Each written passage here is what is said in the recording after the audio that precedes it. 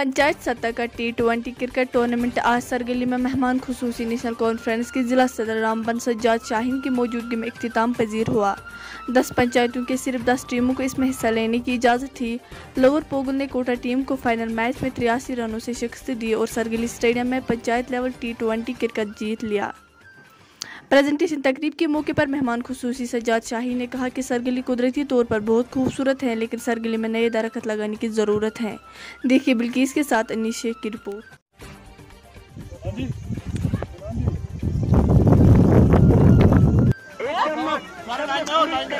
कारकिर्दी के सामने नज़र आई कोवल की तरफ़ से और इस वक्त कोवल का एक जश्न मनाया जा रहा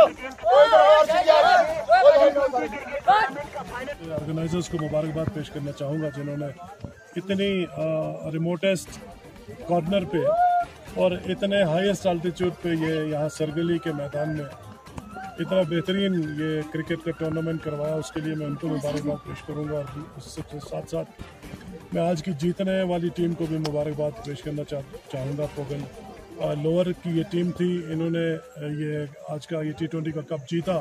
और पाकिस्तान की टीम ने रनर्स अप रहे। उन्होंने भी दोनों टीमों ने बड़ा बेहतरीन खेल का मुजाहरा किया। दोनों को मुबारकबाद पेश करना चाहता हूँ। और मुझे बड़ी खुशी हो रही है कि इतनी खूबसूरत जगह पे हम लोगों को ये मौका मिला कि हम लोग यहाँ पे आके इस खेल से लुत्फानंदोज हो सके।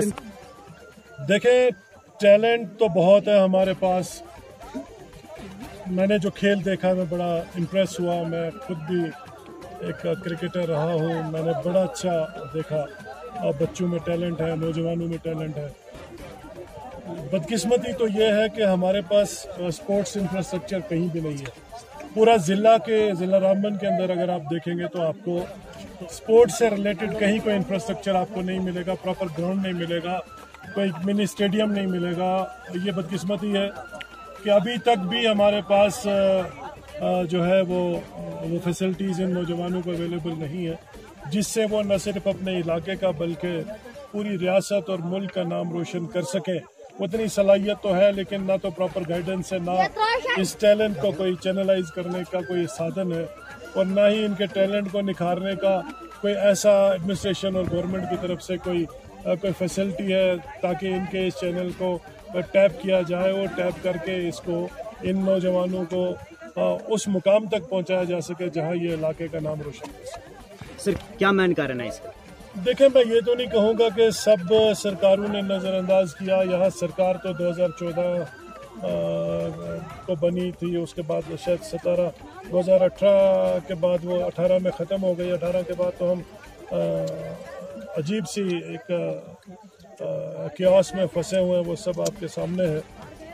इस वक्त देखें एडमिनिस्ट्रेशन की तरफ़ से जो जहाँ जहाँ भी आप देखोगे, कोई ऐसा कोई मुस्बत, कोई डेवलपमेंट हो नहीं रही।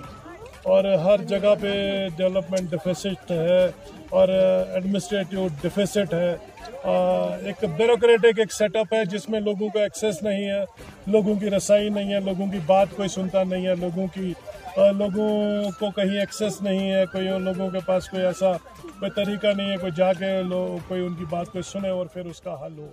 लेकिन अल्लाह से उम्मीद है